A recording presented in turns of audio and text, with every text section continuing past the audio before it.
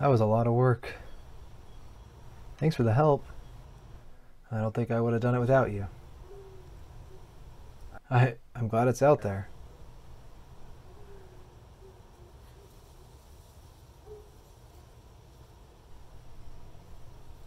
Oh, that? Oh, you didn't get a tattoo? Yeah, check it out. Yeah, it goes right to it. It's awesome. well, it was a lot of fun. I just hope everyone else likes it too.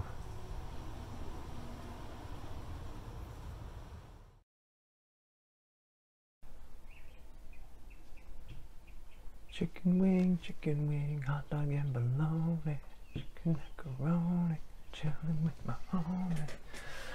Chicken wing, chicken wing, hot dog and bologna, chilling with my homie.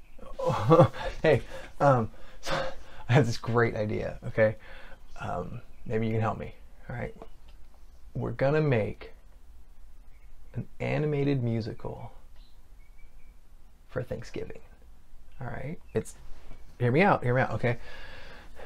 All these holidays have these songs and movies and all stuff, but where's the Thanksgiving musical? We need one, right? So I, I got this idea last night, and I think it's to be epic. Uh, here's the here's my problem. I don't know how to make a movie, and I want to show it in a theater. So we got to figure that out too. So right, I mean, like big screen, everyone Thanksgiving come rolling up into theaters and watch this movie. It's gonna be sweet. So, yeah, I, I just I, am gonna research a little bit. I'll let you know what I find. Okay, it it's gonna be great. Just trust me. All right. Okay, so I've been researching a lot. I watched six YouTube videos. I know six. I I think I'm an expert at making animated films now. Um, yeah, there's, so there's a lot involved. It has to do with different departments and how the film goes. Here, it's easier if I just show you. All right, take a look. They say a picture is worth a thousand words, and in the case of a movie, we have a lot of pictures that happen that we call frames. That typically there's 24 frames per second, which are really just pictures flying past your eyes to process it and make movement out of it. In every minute, that gives us 1,440 pictures that our eyes process to kind of piece together parts of this movie. And a typical movie being 90 minutes long gives us 129,600 total frames that we're looking at this entire time to make sense of and make movement. Uh, and if we want to tie that back to how many words we have, that's 129,600,000 words, not including spoken dialogue. Uh, but let's actually look at how a movies made? Uh, what are the parts that go into it and departments that make up animation? So the typical movie is made up into three acts, and these acts each have different parts that tell you know the story or conflict and world building. Uh, which then each act kind of breaks down into smaller pieces, which is what gets processed and, and moved through in the story.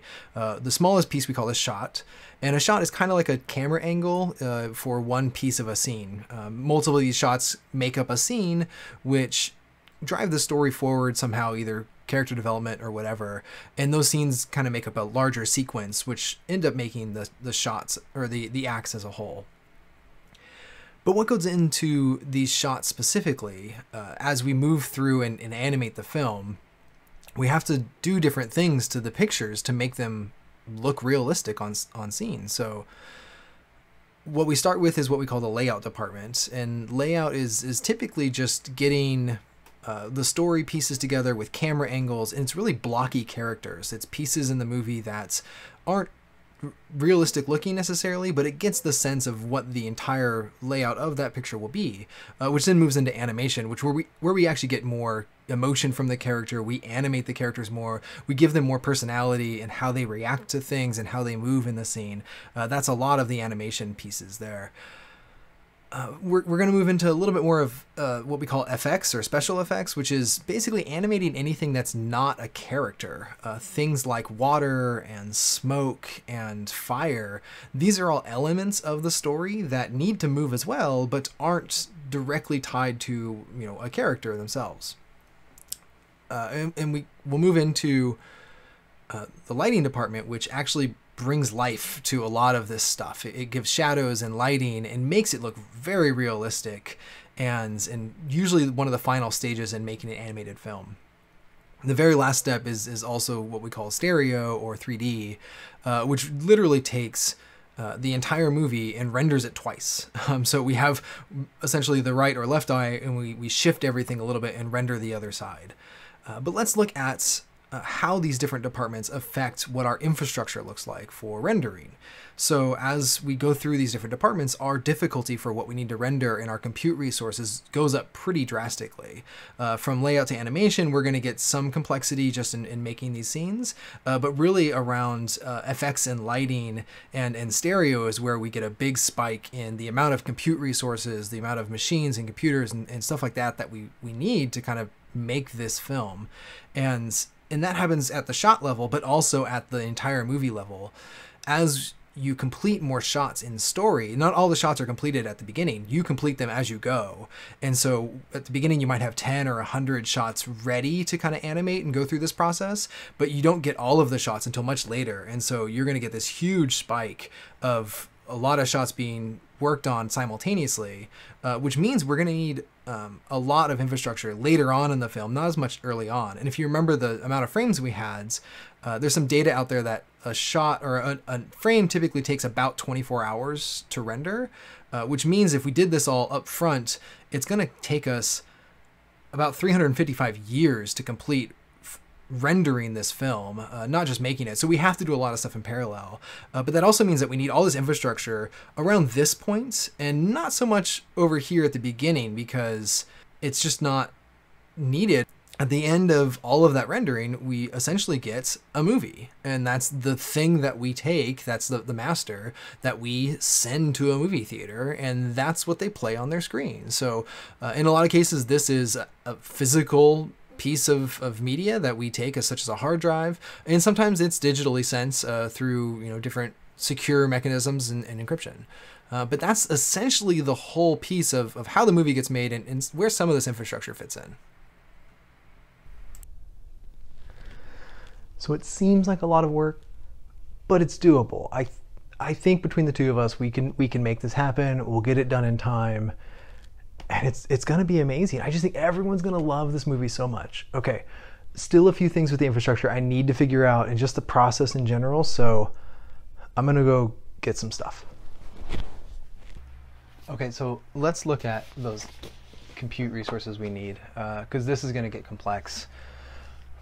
If I'm a single artist with a single machine, it's it's pretty simple. I, I you know I render a frame I use all the CPU, all the memory I need. I just wait for it. I render the next frame. I wait for it. I render the next frame. You know, this this is a linear process. This makes sense.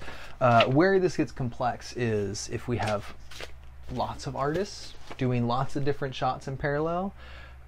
We're probably going to need more machines. So if we if we take more machines and add them to the equation, it helps because we can we can distribute this work all over the place. We could say, okay, one, two, three, but it's not that simple sometimes. Uh, we we do need to coordinate this a little more than just throwing jobs out there. It's it's not just going to work great to collect everything into a single movie at the end if we're just you know if we don't organize this. And so we need something, some intelligent scheduler that is going to coordinate that for us. As a shot comes in, not only do I need to track where that's going to go, how much resources it needs, but I need to track assets inside of the shot itself. Um, here, let's say I want to render this bear, right? It's a vacation bear or whatever. In the story, it's it's fine, but I need to know which version of the shirt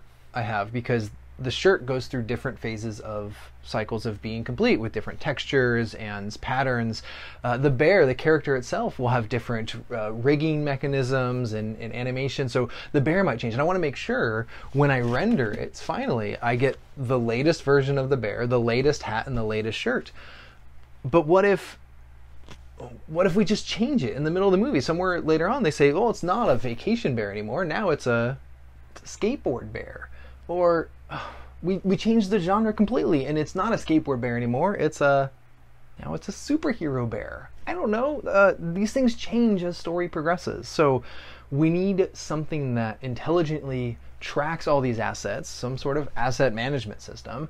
Uh, and we also need a scheduler that can schedule these jobs. And looking back at the compute side of it, if I say I, I want to schedule, you know, this frame over here and this one over here, usually that's fine for smaller systems that have a handful of cores and memory. I can just use the whole system. But if we get larger systems, we can actually cut those up into smaller pieces and, and render two frames at once or, or, or, or three on a single system. Uh, but we need to be able to isolate that compute and resources separate from each other on the same system. And containers are a perfect fit for that, right? We, we can we can tell it how much CPU, how much memory it can use, what sort of mount file system it can use to get to track the assets and to mount volumes into it. Uh, all those sorts of things will work great, and so we can use those containers on top of this with these high CPU memory jobs, and and then we can use our orchestrator to to put those jobs out there in order based on when an artist finishes a shot or when a, a shot is done ready to be rendered. There are a couple things that are still questions here like how do i get metrics from from these jobs? Uh, we probably want something that scrapes them uh, whether that's an, an, agent on the box or something like prometheus or something pulling that information. Uh, but i think i think we're we're on our way to have something that we can render a lot of this stuff at once. Uh, yeah, so I, I think this is a good call. I mean, we'll look at Kubernetes, we'll look at Prometheus. We gotta find a custom scheduler. Uh, there's there's other ones out there that aren't just these aren't web services. They are not horizontally scalable. They they take up an entire system. So if I want to add more systems to the to the render farm, I can't look at CPU and memory usage because in an ideal state, 100% of my CPU and memory is being used. So an autoscaler is not going to work for that. Uh, I'm probably going to have to look at something like queue depth. How many jobs are waiting to be rendered? And if if I have too long of a queue, maybe I add more EC2 instances or I add more pods to the cluster and, and able to I'm able to scale up that way. That actually seems like a great idea. Yeah, let's let's try that. So remember all those assets we're tracking and rendering? Yeah, it's going to take a lot of storage. Uh, I mean, the assets before we render them, after, iterations, edits, everything's just going to add up. We need a lot of disk for this. Oh yeah, and remember that uh, scheduler we might need to make for the rendering. We got to put it in order and everything. I think for our movie, we can find one off the shelf uh, there's a couple that exist that'll make basically graphs of assets and, and dependencies. So at a larger scale, it, it probably wouldn't work because you're going to have multiple movies going on at once. So you need something custom. But for us, I think we're okay. Cloud storage? I don't know. I mean, I guess there's options. There's, you know, plenty of different things we could try as long as it's you know there's it's scalable enough, so that makes sense. And yeah, it's just a bunch of files. I mean, as long as the the artist tools and the rendering engine can access the files and is fast enough, yeah, cloud storage actually makes a lot of sense. It's a lot easier than this. All right, well I think we have everything then. Let's let's just try the cloud storage. It's got to be easier, so let's get to work.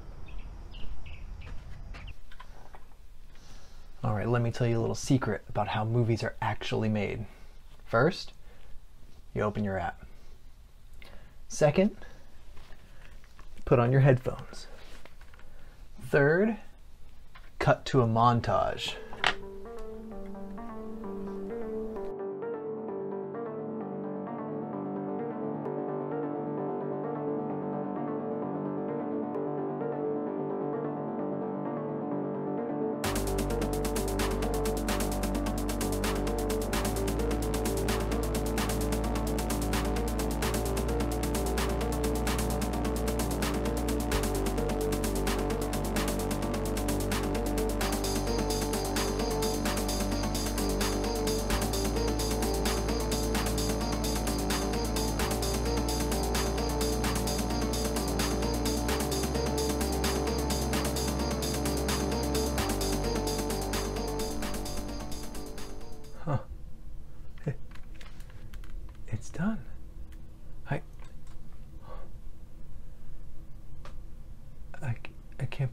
It's, it's done.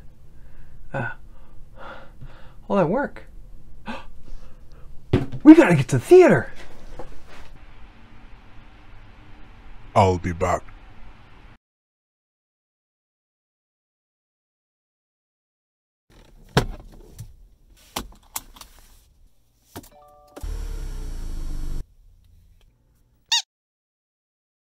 Okay, we're gonna do it. We're gonna make it. We'll get the movie out in time. Yeah, this is it. This is. Oh no, they're closed. Oh, how could they be closed? No, no. Why?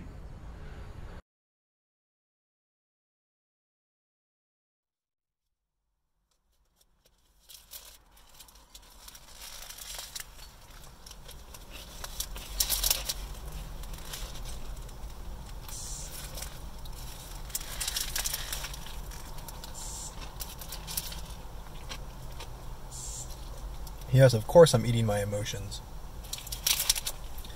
I thought people would like the movie. It's a bummer that all the. I mean, if they're closed, what are you going to do?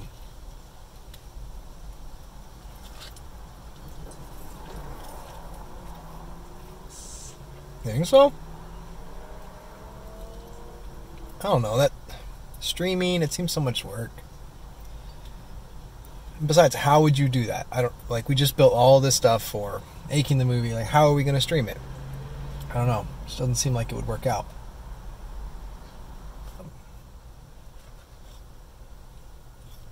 Can't be too hard, right?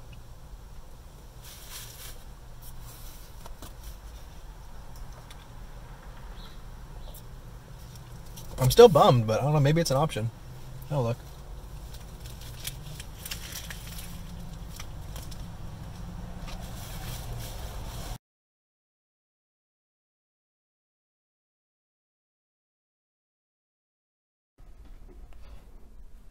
Oh, oh, good, you're here. Um, yeah, so I was thinking about what you said, and I think streaming might make sense.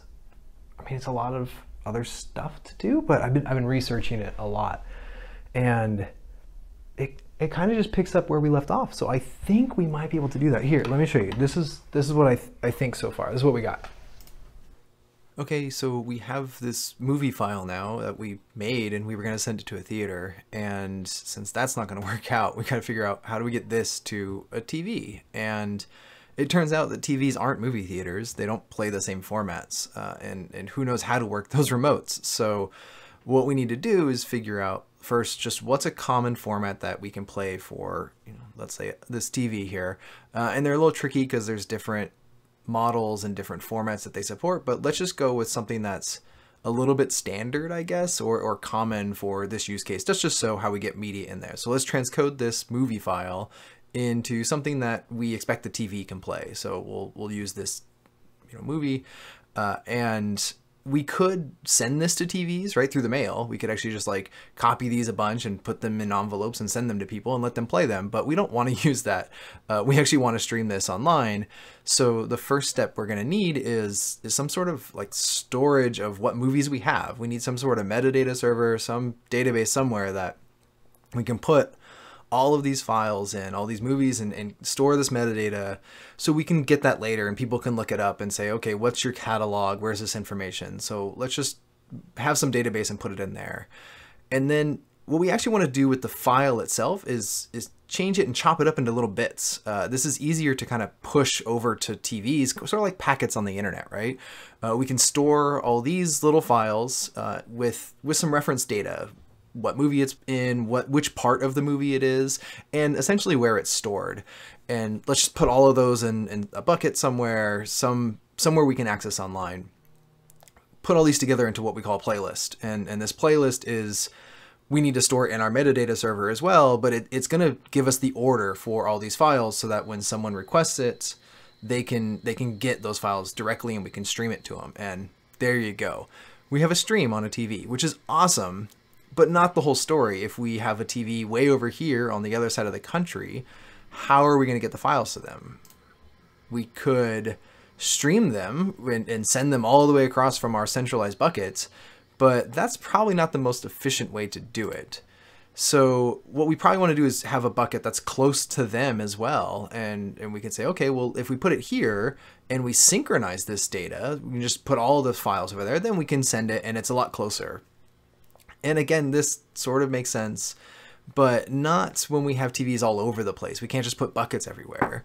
And so for that, we're going to have to figure out something else. Uh, but we can rely on this thing we call the 2080 rule, where 20% of our content is viewed 80% of the time, which is actually really helpful for us because instead of using these larger buckets with all the information, we only need to actually synchronize 20% out to smaller edge locations. And these edge locations, we can use a CDN and just put them all over the place, which is great. And 20% of our data goes here, and the other 80% can still be fetched from these centralized locations and as the media gets more popular, we can sync it out somewhere else.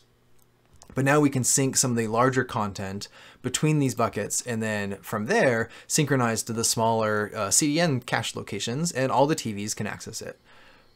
Now what happens when we look at a global view? Uh, that still kind of works. We can still store 80% of the content centrally and 20% all over the place, which is actually really great. So this, I think that would scale for us over the globe. We have the TV here, and if you have a TV, you, probably have a phone too. And there's also a good likelihood that you're going to have a tablet or something. And and then maybe even a game console. And so how do we get files for all of these things? We can't just send the same files to all of them.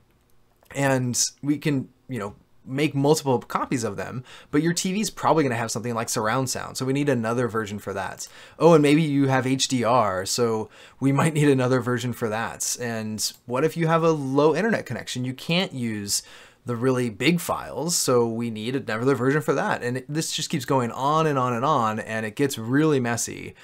But we have to track all of these files in some in that metadata service so that when the right client tries to access them, they get the file that they want. Let's simplify it though, just that's too much. So now let's look at what it actually takes to open the app from a user perspective. What sort of infrastructure do we need? And we're to need a few things up front for like a sign up service as I need to be able to create an account.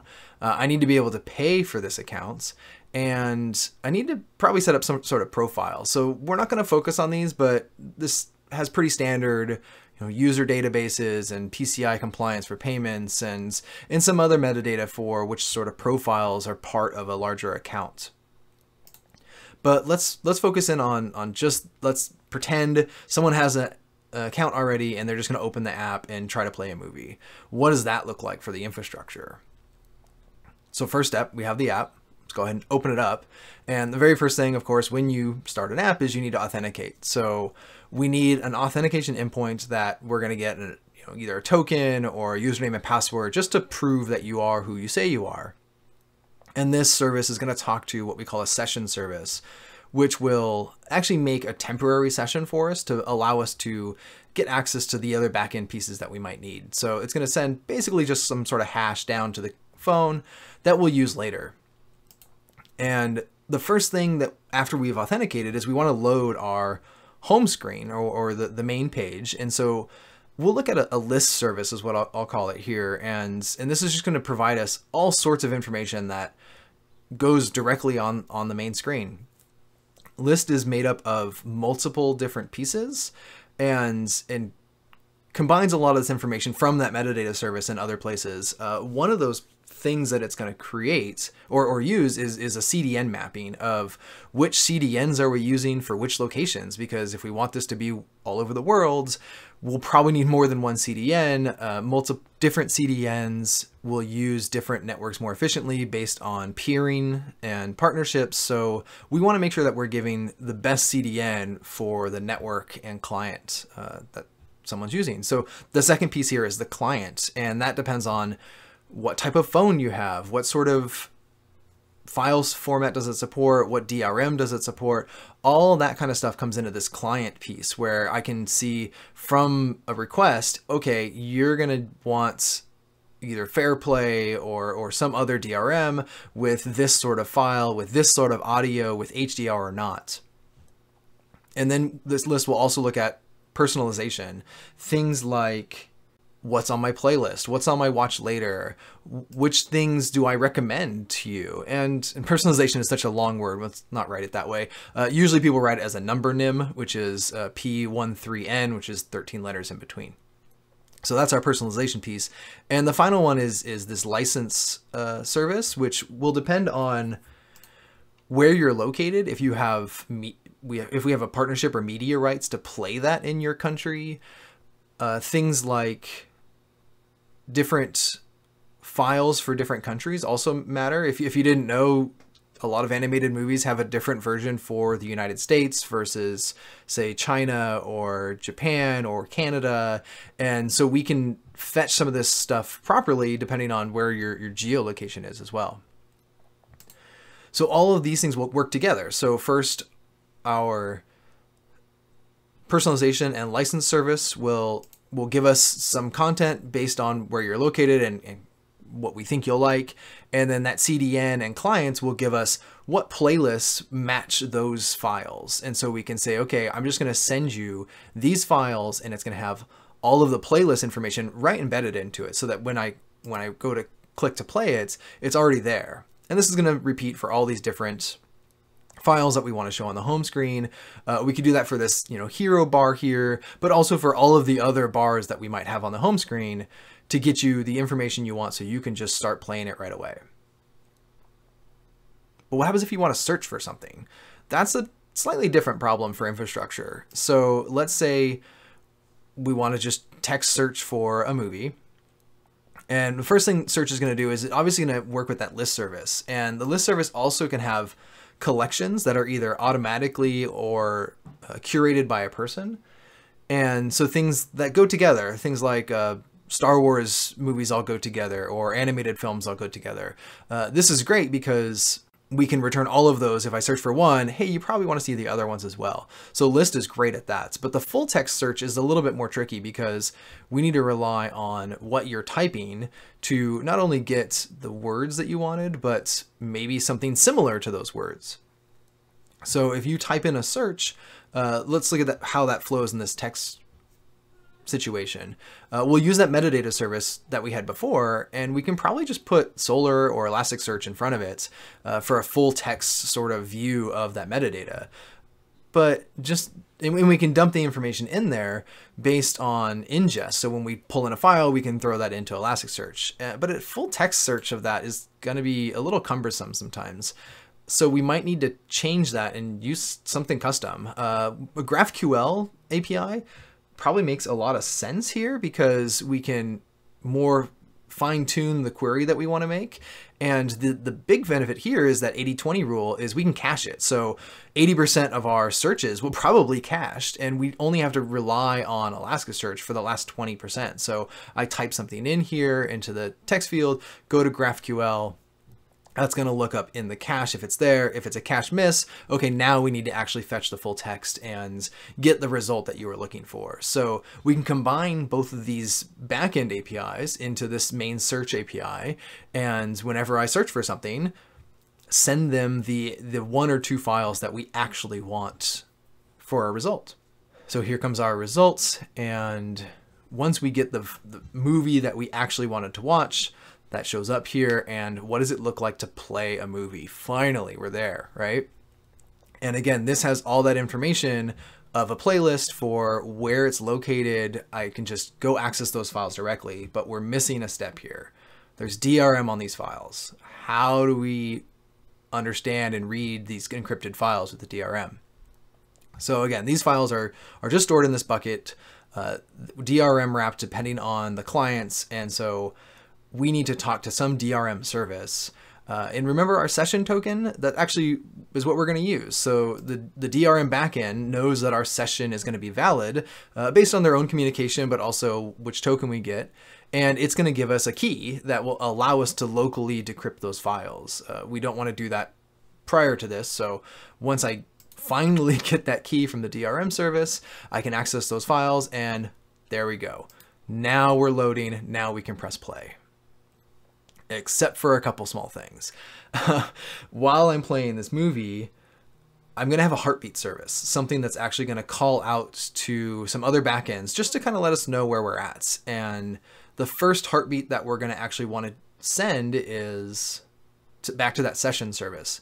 I want to refresh this session service occasionally just to make sure that my session is valid, that I still have access rights to you know get this content that I can still do things. But that new session also works with this DRM service to make sure that if the DRM key changes for certain files or uh, certain formats I'm still able to decrypt those. And all of that works in session in session works in concert together to make sure that I'm getting the right information. And so if what happens if I go offline right? Like my, my heartbeat stops.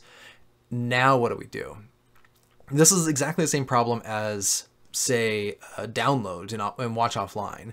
In this case, I get a slightly different DRM key probably that will give me a, a longer lease on watching those files. So I can prefetch all of the files from wherever they're located in the best formats, and my DRM key will expire at some point, but it, it'll be more long lived than if I'm watching with internet connection. So this is great because once I come back online, I can refresh my session and DRM token and everything else just works. Uh, the final two pieces here that we want to actually heartbeat to are what we're just going to call the watch endpoint and the metrics endpoint. So watch is super critical for things like continue watching. As I'm watching this movie, I'm constantly sending back a little bit of information where I'm at in the file, which movie I was watching, which timestamp I'm at, that really matters for when I want to pick it up later, either on another device or just later in the day or tomorrow or something like that. And then this metrics endpoint gives a lot of performance about what it looks like to stream this movie. Is my network still fast enough? Is the device, is the format good for this device? Have I had any latency or issues? And being able to get that from the client side and match that up with what the back end is seeing is hugely important to be able to understand the performance of the entire stack. And so I can, I can get, I can get metrics from both sides and then get a bigger picture, a better picture of what's happening in the service. And that's just a huge win. So there we go. Now we're watching a movie. All of those pieces come together to put this movie together and stream it to my phone. Okay, so I mean, that's a lot, right? There's a lot of stuff going on there. We have to track all the assets, we have to distribute them, but I mean, we can rely on cloud services for that. There's CDNs that just exist and, and can distribute it. Uh, and, and we already have the file. We can just upload it and it does all the, you know, transcode it and cut it up. All that stuff's going to make sense. It's going to be a little tricky with all the different platforms and endpoints, but I think we can do it. And the infrastructure, do it all in the cloud, use the services that exist, RDS, Kinesis, uh, and of course we'll use some Lambda and step functions and Kubernetes and all that stuff. That's all going to be there. But really, the end of the day, we just want to get the movie out there, and this, instead of the one theater, we can go everywhere, right? Directly to the consumer. Oh, and think, they'll pay me five bucks a month. I mean, that's not bad. I think we should do it. All right, let's go. Let's get started.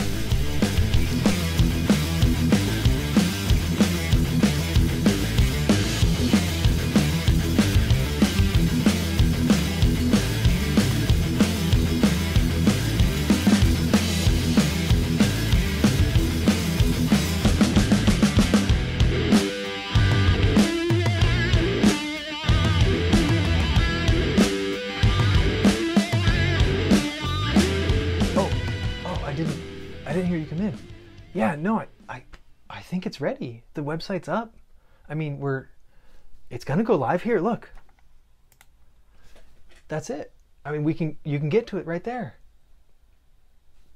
So, uh, here we go.